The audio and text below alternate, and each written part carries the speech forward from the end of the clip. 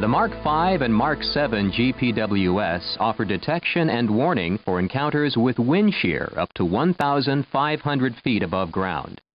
GPWS uses airspeed, radar altitude, barometric rate, angle of attack, air temperature, vertical and longitudinal acceleration, and aircraft-specific performance information to detect encounters with severe wind shear.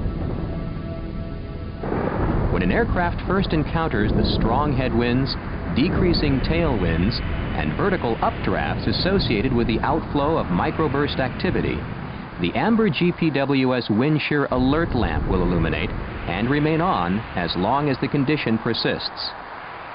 Some installations will also enunciate the voice alert. Caution, wind shear.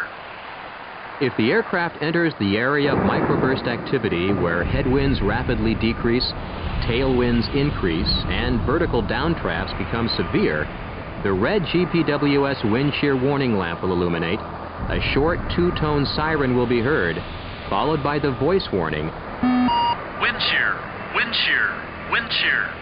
GPWS lamps and voice warnings will cease when the aircraft is no longer in the wind shear condition. Recovery should always continue to a safe altitude above terrain.